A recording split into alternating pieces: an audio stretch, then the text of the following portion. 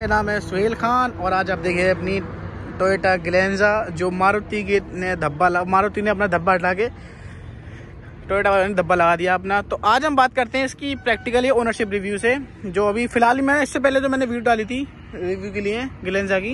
ये वही गाड़ी है। तो बात करते हैं इसके जो ओनर हैं। तो सबसे पहले स्वागत है आपका हमारे चैनल पे। तो नाम क्या है आपका? भाई सौरभ नाम है मेरा।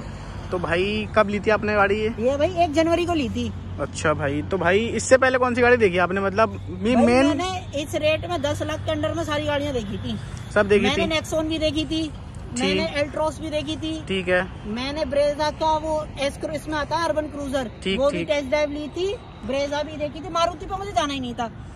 भले ही मानना हो कि मारुति जैसी है हम्म। पर भाई मारुति का लोगो तो नहीं है। नहीं है। मारुति वाले इतना फ्रॉड करते हैं भाई मेरे साथ हो चुका है धोखाधड़ी। दो तीन बार मैंने स्विफ्ट की भी सर्विस कराई थी वहाँ जाके कम से कम भाई अगर सेम गाड़ी इतना मिल रहा है मुझे ट्रस्ट मिल रहा है टोयोटा का भाई साहब तो भाई एक बात ये बताइए मतलब मतलब मारुति पे मतलब क्या मतलब क्या चीज़ लगती थी? क्या चीज़ भाई सर्विस तो इतनी बुरी है। मैं तो आपको एक ना स्टोरी बताता हूँ। मैंने भाई नई गाड़ी ली थी 2017 में। मेरे पास अल्टो भी है एक। जी जी जी तो पता है। उसकी सर्विस मैं दस हज़ार वाली कराने गया था। ठीक है। तो दस हज़ार वाली सर्विस कराने गया। आपको पता है दस हज़ार पेट्रोल की गाड़ी है। भाई कुछ बिगड़ेगा उस गाड़ी का? नहीं कुछ तो नहीं बिगड़ेगा। ले जाके क्या कहते हैं भाई इसका तो इंजन सीज होने वाला है। अच्छा। इसमें तुमने ये कर दिया अब कभी भी आएगा तो इतने पचास हज़ार रूपए का खर्चा लगेगा। अंडर बॉडी कोटिंग करा लो अलाइनमेंट खराब है बैलेंसिंग खराब है मेरी जीत गिना दी भाई सबसे बड़ी बात ये है।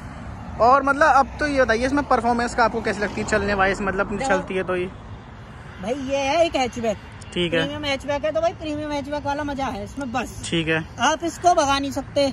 अच्छा। ब्रेकिंग में थोड़ी सी कमी है। अच्छा अच्छा। बिल्ड क्वालिटी है। भगाने को मैं ये नहीं कह रहा कि सौ एक सौ बीस नहीं जाएगी। चली जाती अब जैसे आपने बताया था मैंने अभी कैमरा लगवाया था कुछ दिनों पहले ही। हाँ तो भाई कैमरा मैंने आपको जैसे ये जी मॉडल है ना भाई इसमें कैमरा नहीं आता।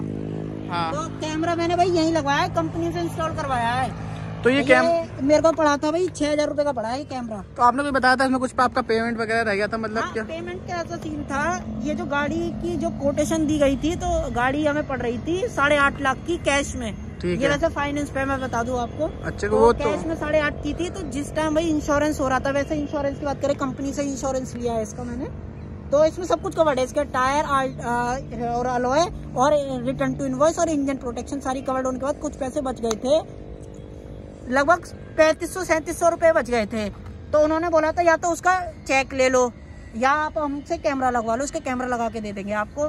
तो भाई मैंने पैसे वैसे लेता चेक अपने बैंक में जाता फिर भी कैमरा लगवाना था मुझे।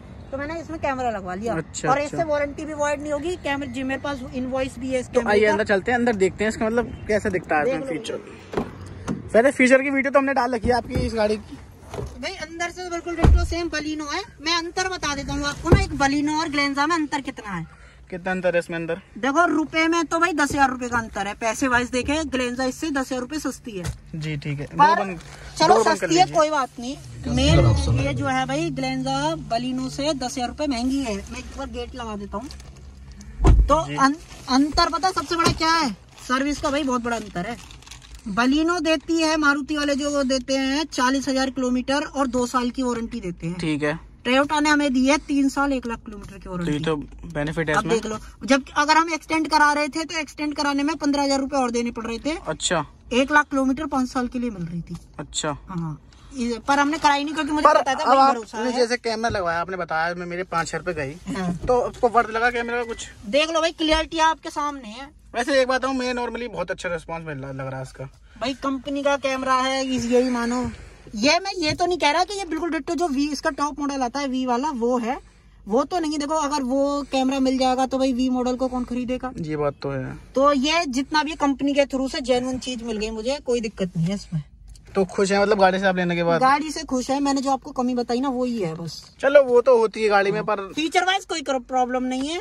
माइलेज एक नंबर देती है भाई।